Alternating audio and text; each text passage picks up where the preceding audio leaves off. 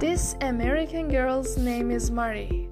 More than 3 million Americans are named Marie.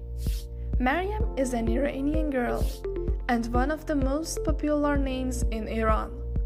Almost 2 million Iranians are named Maryam. Both of them are between 20 to 30 years old. Both of these names originate from the name of Saint Mary. Where Maryam lives differs a great deal from where Marie lives. A larger percentage of women where Marie lives are employed, yet they're forced to work more since they're paid less than men. This statistic was stated by an institution from the Marie's country. Maryams hmm. are free to choose whether to work or not in their country and enjoy the same wages as men. Marys are not entitled to a paid maternity leave, whereas Maryams are given 24 weeks of paid maternity leave.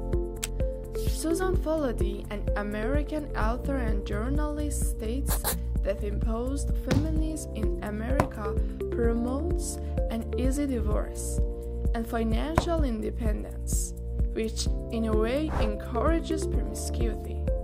According to the New York Times, getting a divorce in Maryam's country is as easy as getting a taxi. Whereas couples sign contracts of loyalty and love according to the Islamic marital laws with terms such as and daily expenditure in Maryam's country.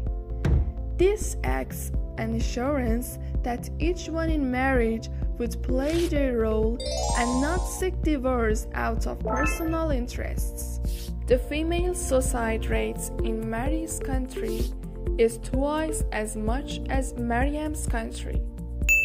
Just as Mary and Maryam's share the same origin in their names, they share the same feminine needs, emotions, and concerns.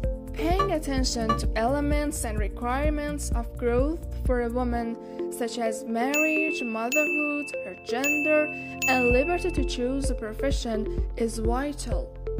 In your opinion, is Marie's country a better place for women to live? or Maryam's